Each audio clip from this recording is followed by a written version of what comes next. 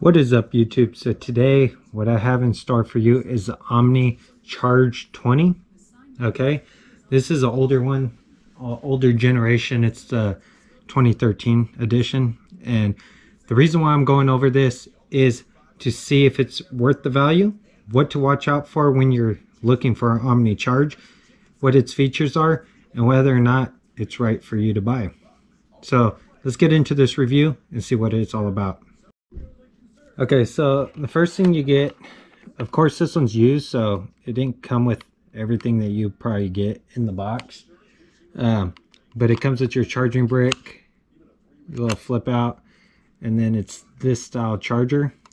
They do have the Omni Charge 20 Plus and the 20C, and I'll show you the differences between those and uh, between this and that those other ones. Okay, but let's go over what you get. Okay, so this one here you power it on. You're greeted with the omni charge um, setup here. It's kind of hard to see but it's an lcd display. It tells you uh, how many watt hours you have your battery um, what you're on. So you can either turn on right here the plug which is 110 or you could turn on uh, your USB stuff right here um, to charge your devices or you could turn them off and regulate it like that. So if you have everything plugged in and you only want to charge maybe your USB devices then you could do so by just selecting that little USB symbol comes up. So this is what the display looks like. Um, you have your watts here your watts here uh, your temperature and then your time. Um, and then you have your battery percentage and your watt hours over here. And then on these buttons here when you select them you'll notice that this lights up and that just basically says USB and then you select the top one and that says DC power.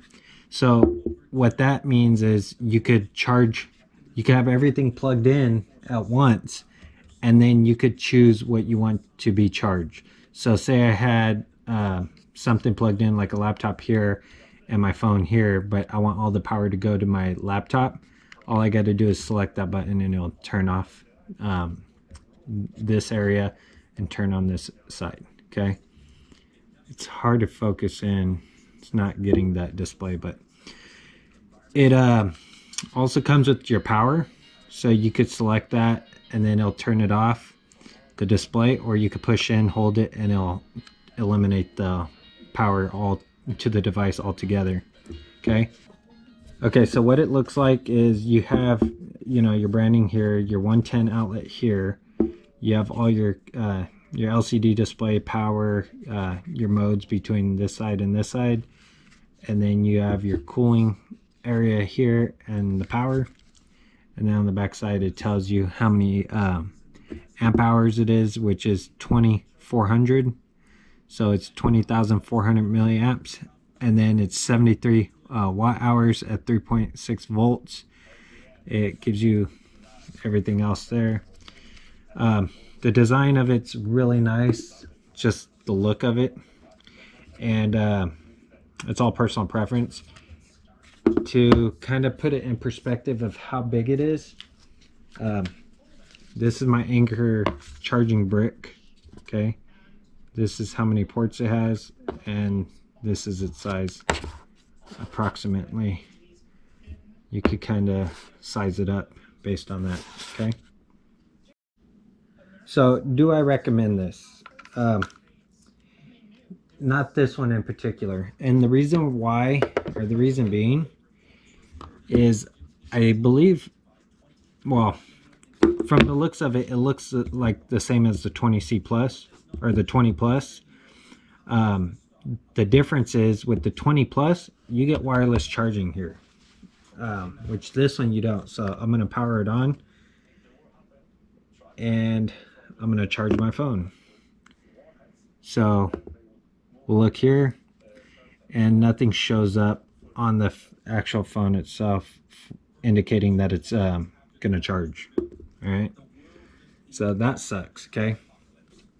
Another reason why I wouldn't recommend this one in particular is because you turn on the DC So I'll turn on the DC, plug this in, right? And I get no light here. So this one I think is defective, so it's going back, okay? Um, that's unacceptable.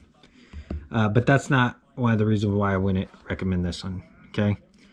The 20C or the 20 Plus has your 110 power here. It has your USB here, but it also comes with an option to run the Type C here, which is really nice. Um, the 20C actually gives you two USB, so it doesn't come with the 110, uh, but it does come with the um, Type C plugs. So that's basically all it is. Um, everything else is self-explanatory. It's your power bank. Do I recommend this size? Um, if you don't care about the 110 outlet, you might as well buy like an Anker power uh, bank that's like half this size and it supplies the same amount of power. Okay, so to prove that this works, as you can see I have it plugged in and it lights up blue. So this isn't the problem, it's the power, uh, the bank, the battery bank here. So, I mean, it is what it is, it's going back. So that's going to complete today's video. If you like this video, give it a thumbs up.